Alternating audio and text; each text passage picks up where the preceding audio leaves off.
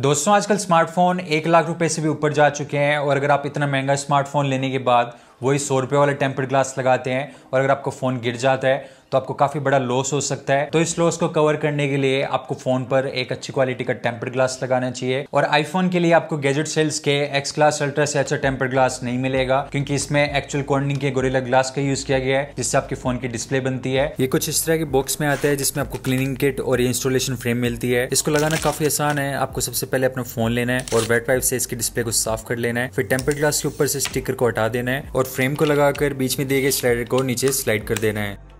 बस temper glass लग कर तैयार है। ये 0.4 पॉइंट mm की थिकनेस के साथ आता है। इसके ऊपर सिरेमिक कोटिंग की गई है, जिसके कारण फ़ोन की डिस्प्ले चलाने में काफ़ी स्मूथ लगती है और ये फ़ोन का ईयर पीस भी कवर करता है। इस पर कॉर्निंग का गोरियर ग्लास है, जो नॉर्मल टेम्पर ग्लास से तीन गुना ज़्यादा अच्छी प्रोटेक्शन देता है और इसे बैंड करके आप पूरा यू बना सकते हैं। इस टेम्पर ग्लास की लिंक आपको मेरे चैनल की बायो में मिल जाएगी।